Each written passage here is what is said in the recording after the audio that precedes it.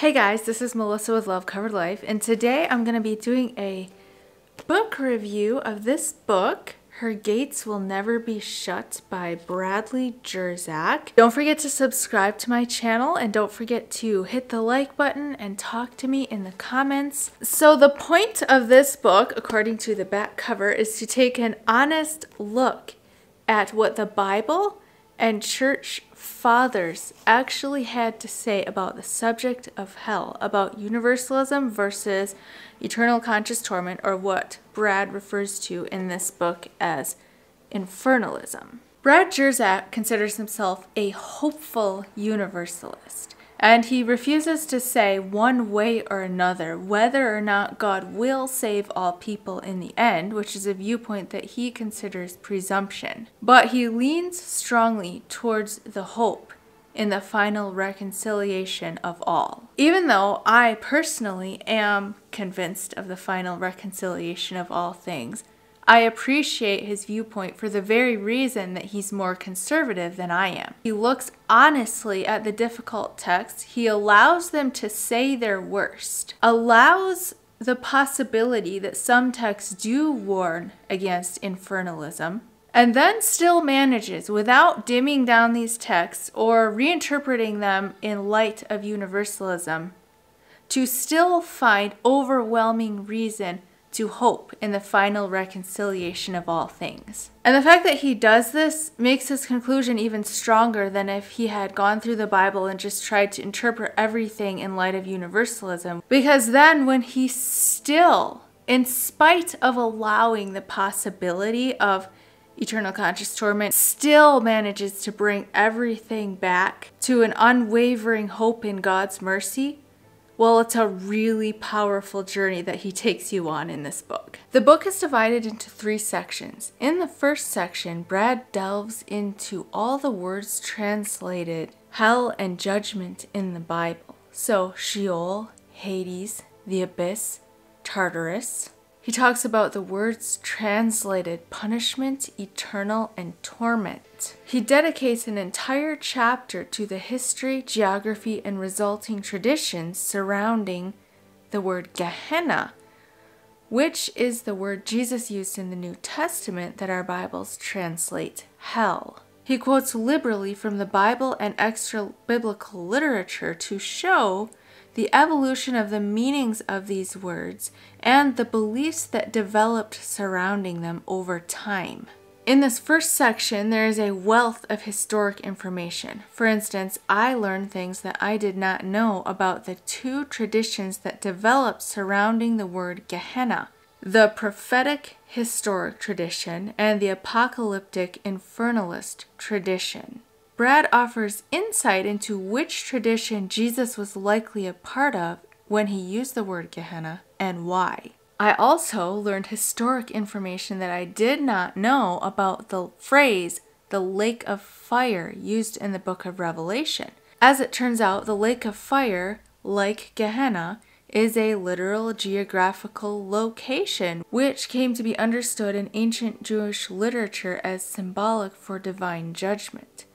I'm really looking forward to diving more into this topic after I do my own research, so that's all I'm going to say about the Lake of Fire for now. In part two, Brad quotes liberally from the Church Fathers to show the evolution and variation of ideas on hell and the afterlife from the early years after Christ until now. And again, I appreciate his honest look at both sides of the equation. He quotes the church fathers of both the Universalist and the Infernalist persuasion and shows where Infernalism originated and how it progressed into modern evangelicalism. One thing that I found very interesting is that even though the church fathers held to a mix of views, according to Brad's quotes and summary in his book, masses of Christians in the early years actually believed in post mortem salvation. They prayed for the dead because they believed that people could be saved out of either hell or purgatory or whatever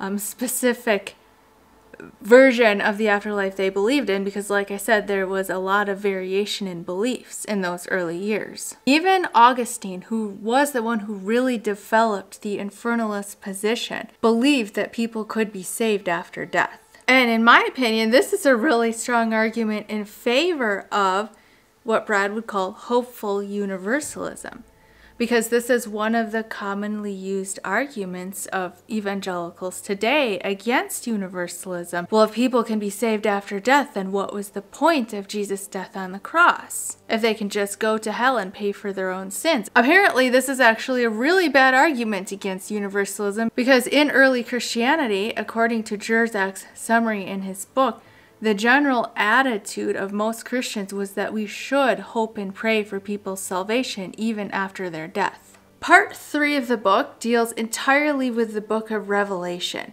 So Brad goes through the final couple of chapters in the book of Revelation to point out the ordering of events. Brad shows how even after the kings and nations of the earth are sequestered to the lake of fire, Revelation actually ends with the call from the Spirit and the bride from within the city. Come and drink. And it says that the gates will never be shut, and that the kings of the earth, the ones who were previously sent to the lake of fire, will come in by the gates and that the leaves of the trees on the bank of the river of life will be healing to the nations. What nations? The ones that were previously in the lake of fire?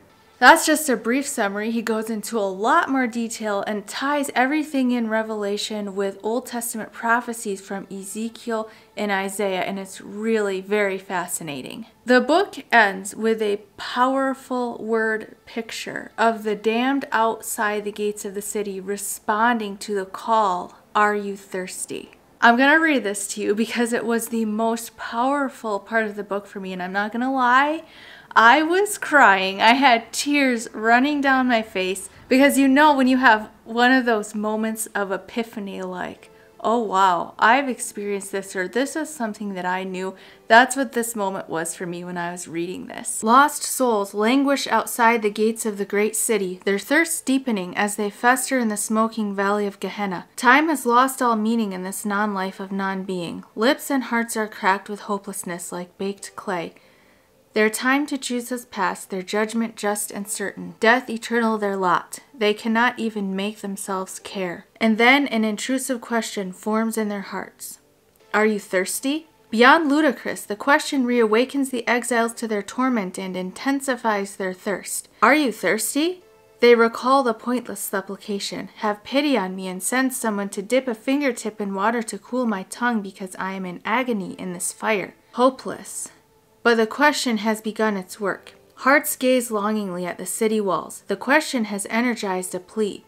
What if we trudged out a pilgrimage to Zion's gates to seek an audience with the king? What if, hope against hope, someone opened the gates? Even as the damned set their hearts upon the journey, while still a good distance away, the heart of God is already turned toward them, for the question originated from his throne. Christ, the river of living water, pours out of the open gates and into the valley of death. Streams flow into Gehenna where the green shoots spring up on widening banks. When I read this, it resonated so deeply with me like, this is the deepest truth that I know. There is no such thing as hopeless. Hope, according to 1 Corinthians 13, lasts forever. So, how can anyone call themselves a Christian and allow the word hopeless into their vocabulary? Hopeless is a prison we create with our own minds and we lock ourselves in from the inside. And isn't this the cycle that we see repeat over and over in this world? People imprison themselves in their own states of hopelessness to the point where they just can't bring themselves to care. The moment that we are willing to awaken, to believe, even just to hope to believe, even the tiniest amount, the light is waiting to break through. If we were to go knock on the doors of the city, we would find that they were never shut. As soon as we even think the thought, maybe God would open the gate, we find ourselves within our Father's joyful embrace. Of course, anyone who seeks God, even from the pit of hell, especially from the pit of hell, would be welcomed with open arms. I know this in my humanity. Are we saying that I, that we are more gracious and loving than God? How could we ever believe anything else? And as to the subject of free will, and whether or not it is possible for someone from the pit of hell to seek God, Brad has this to say. It seems to me that absolutely everything in us that says no to perfect love and eternal salvation is not based in freedom, but in bondage. Brad is speculating that anyone who has a truly free will is going to choose God.